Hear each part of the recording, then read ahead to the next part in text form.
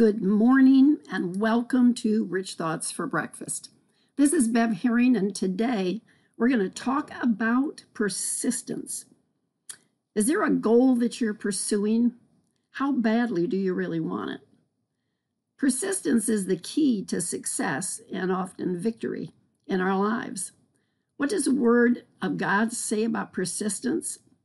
In Revelation 2 2, Revelation 2 2 in the Message Bible, it says, I see what you've done, your hard work, hard, hard work, your refusal to quit.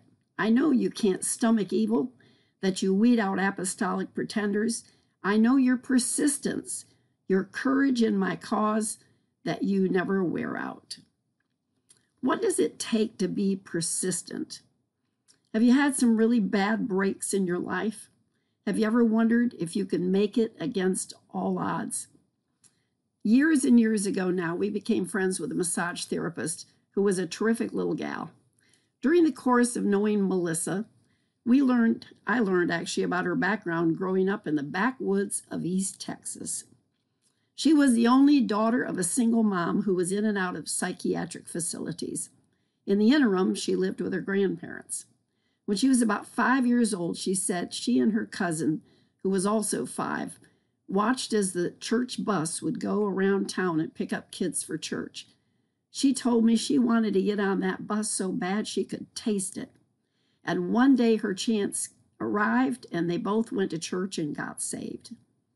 She said the next year her cousin was in an accident and got killed, but she said, I knew exactly where he went.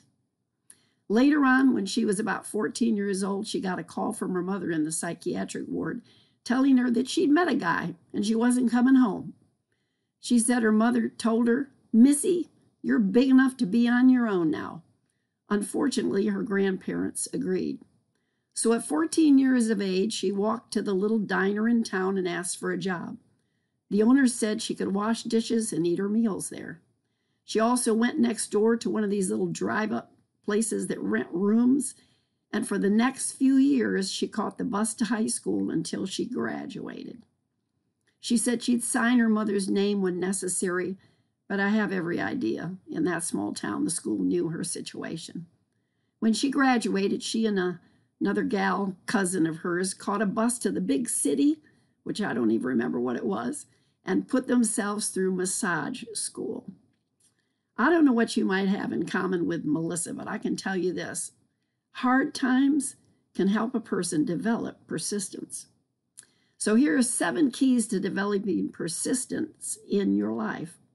Number one, believe in what you're doing. First and foremost, you must believe in what you're doing and why you're doing it. If you understand your God given purpose, then self belief and self motivation is much easier but it's imperative that you are open to follow God's purpose for your life. There may be times when it's a day by day journey, but keep asking, seeking, and the door will be open for you. Matthew 7, 7 and 8. Matthew 7, verses 7 and 8 say, Ask and it will be given you. Seek and you will find. Knock and the door will be opened.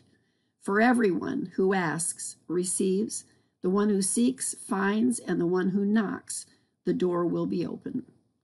There may be times when you feel all alone while pursuing your dreams with persistence. Just remember, once you give your heart to Jesus, you'll never be alone again. Not only that, He'll help you figure out what to do and where to go next, just like He did Melissa. Isaiah 48 17. 48 17 is a great scripture to claim in the Message Bible. I am God, your God. Mm, I love that. I'm going to start over. I am God, your God, who teaches you how to live right and well. I show you what to do, where to go. Number two, know that you have the ability to succeed. Here are two great scriptures to this second key. Matthew 17:20, Classic Amplified.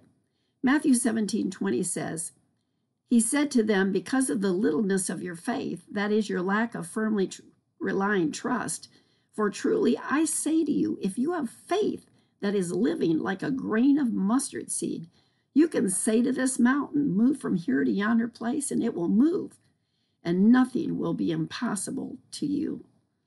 I love that. Nothing will be impossible to you.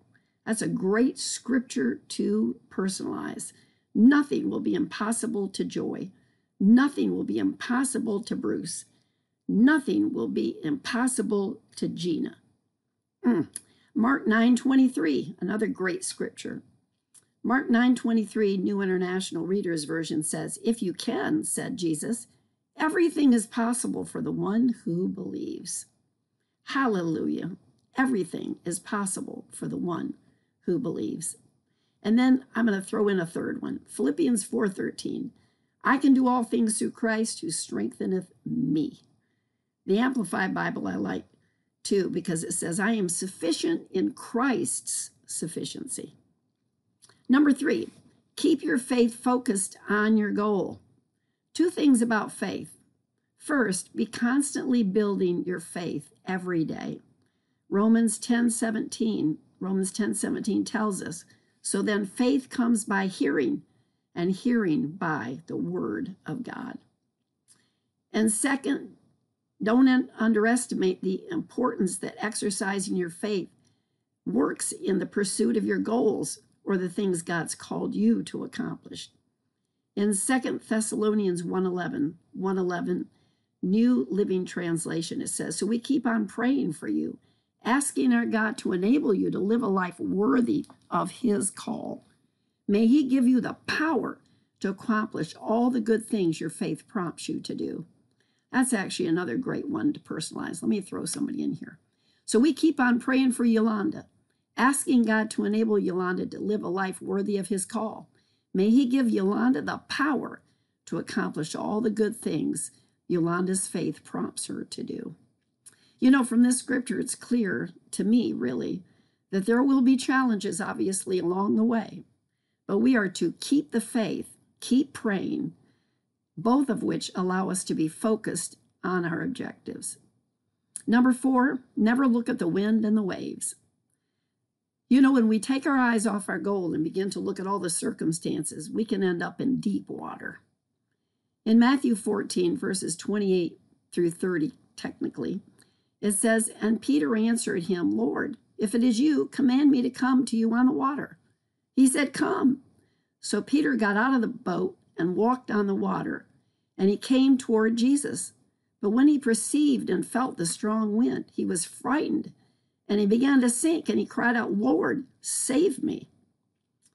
We all know this story very well, but let's be sure that we apply it to our lives when we realize the circumstances around us are breaking our focus so that we can stay focused on the only one who can really bring us out of the circumstances that we're facing.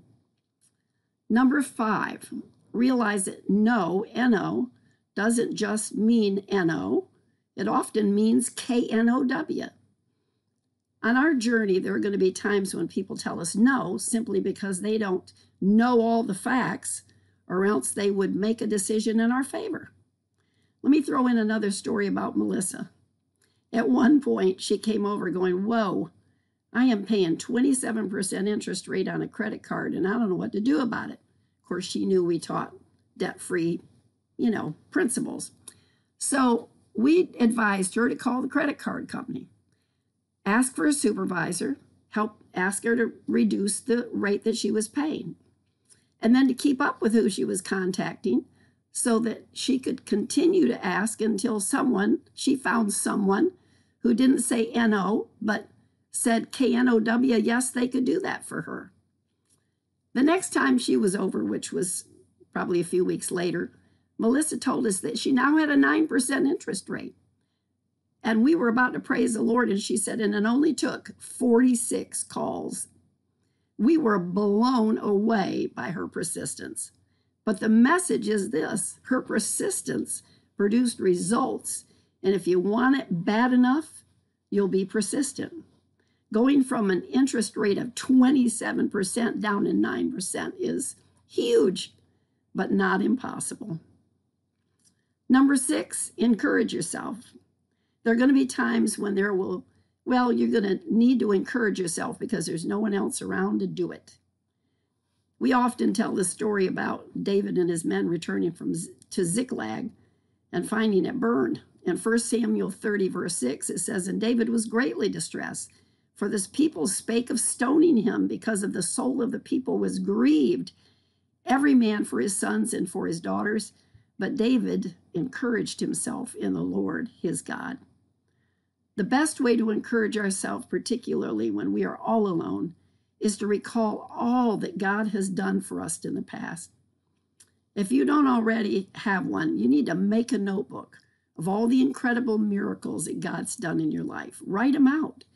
Keep it available to encourage yourself in your most holy faith when the enemy wants to tell you that God is not around or he doesn't care to help. And number seven, never give up or give in. When you feel like giving up, don't.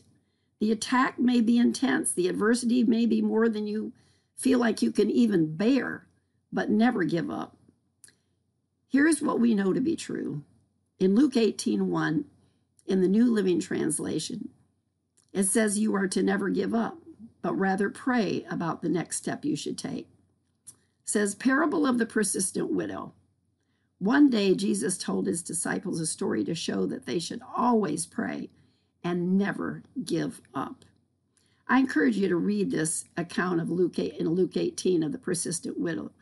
It's an amazing story and it will really help you to, well, make your persistence stronger, I guarantee it.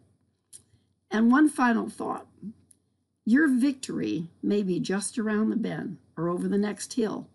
So keep your eye on the goal, not on the circumstances. Live one day at a time and be persistent. And I promise you, it will pay off. Hallelujah. Okay, today is another day. It's going to be a tremendous Thursday today. We know it's tremendous because we made up our mind that it is tremendous. We're going to go out there and conquer. So you just have a great and glorious Thursday. Join me tomorrow morning, and we'll have a fabulous Friday together, too. And in the meantime, happy trails and keep thinking rich thoughts from the Word of God. We love you. We appreciate you. Bye bye.